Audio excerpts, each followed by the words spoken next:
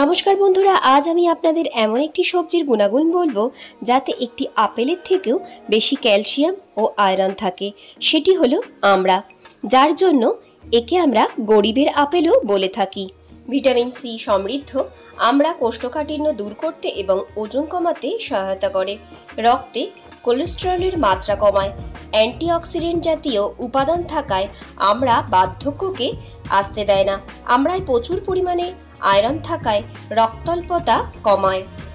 আমরাই রয়েছে অনেক বেশি পুষ্টিগুণ, তাই রোজকার খাদ্য তালিকায় আপনারা অবশ্যই আমরা রাখতে পারেন।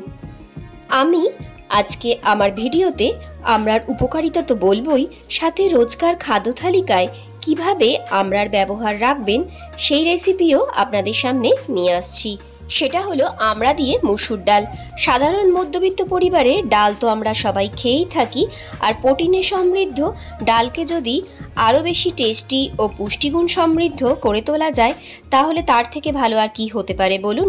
তো চলুন দেখে নেওয়া যাক আমার আজকের রেসিপি সাথে আমরার গুণাগুণ। মা ঠাকুমাদের আমল থেকে তৈরি হয়ে আসা এই আমড়া দিয়ে মুসুর ডাল অনেকেই হয়তো বানাতে পারেন, আবার অনেকে পারেন না, আমি তাদের জন্য এই ভিডিওটা নিয়ে এলাম। আমি কড়াইতে জল গরম করতে দিয়ে তার মধ্যে মুসুর ডালটা ধুয়ে দিয়ে দিলাম সেদ্ধ করার জন্য, আর যাতে ভালোভাবে সেদ্ধ হয়ে যায় তার জন্য অল্প একটু লবণ দিয়ে দিলাম।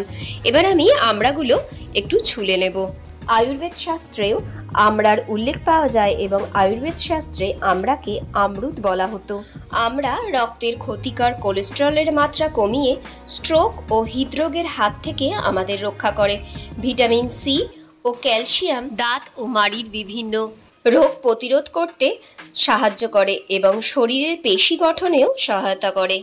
ডায়রিয়া, হজমের সমস্যা, গ্যাসের সমস্যা থেকে মুক্তি পেতে আমড়াকে অবশ্যই খাদ্য তালিকায় রাখুন। আমি আমড়ার গাটা এইভাবে ছুলে নিয়ে মুখটা এবং নিচের অংশটা একটু কেটে নিয়ে মাঝখান থেকে দুটো টুকরো করে নিলাম। এইভাবে আমি সমস্ত আমড়াগুলোই কেটে নিলাম। আমি আগেও আমড়ার বিভিন্ন রেসিপি আপনাদের জন্য নিয়ে এসেছি। যেমন আমড়ার চাটনি। আপনারা যদি দেখতে চান তো ডেসক্রিপশন বক্সে লিঙ্ক দিয়ে দেবো, সেখান থেকে দেখে নিতে পারেন। আমি একটু জল একটা পাত্রে ফুটতে দিয়ে তার মধ্যে আমড়াগুলো দিয়ে দিলাম। দিয়ে ঠিক ঠিক তিরিশ সেকেন্ড মতো একটু সেদ্ধ করে নেব। এর ফলে আমরার যে কষভাবটা থাকে, সেটা কেটে যাবে। আর পুষ্টিগুণও সম্পূর্ণ বেরিয়ে যাবে না। দেখুন, এইভাবে আমড়াগুলো আমি সেদ্ধ করে নিয়েছি এবং একটা স্টেনারে রেখে দিয়েছি। এবার একটা কড়াইয়ে আমি দু চামচ সর্ষের তেল নিয়ে নিলাম।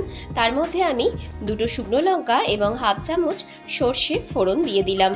ফোড়নের খুব সুন্দর গন্ধ বেরোলে আমি এর মধ্যে আমড়াগুলো দিয়ে দেব। আপনারা আমরা এইভাবে সেদ্ধ নাও করে সোজা আমরা কেটেও এইভাবে সাতলে ডাল করতে পারেন। তবে আমরা একটু কষভাব থাকে তার জন্য ডালের কালারটাও চেঞ্জ হয়ে যায়, অনেকটা কালচে হয়ে যায়। তার জন্য আমি সামান্য একটু ভাপিয়ে নিলাম। এবার আমি আমড়াগুলো এর মধ্যে দিয়ে দিচ্ছি। দিয়ে ভালো করে নাড়াচাড়া করে নেব।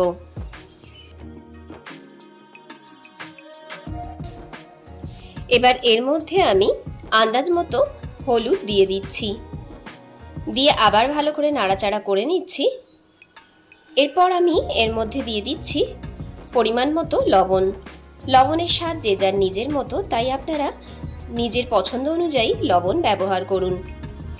লবণটা দিয়ে আবার ভালো করে নাড়াচাড়া করে নিয়ে সেদ্ধ করে রাখা ডালটা আমি এর মধ্যে দিয়ে দিচ্ছি।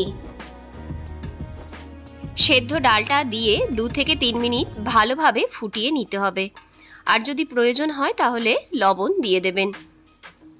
তপ্ত গরমে এরকম আমড়ার ডাল থাকলে আর কিছুই লাগবে না।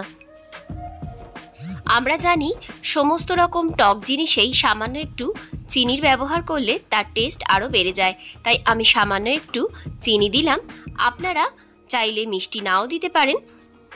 চিনি দিয়ে আবার একটু ফুটিয়ে নিয়েই তৈরি হয়ে গেল আমার আমড়া দিয়ে মুসুর ডাল। তো বন্ধুরা, দেখলেন তো কত সহজে এই পুষ্টিগুণ সমৃদ্ধ আমড়া দিয়ে আমি মুসুরের ডাল তৈরি করে নিলাম। তো অবশ্যই এইভাবে আপনারা মুসুর ডাল তৈরি করুন এবং কেমন লাগল আমার ভিডিওর কমেন্ট বক্সে কমেন্ট করে জানাতে ভুলবেন না।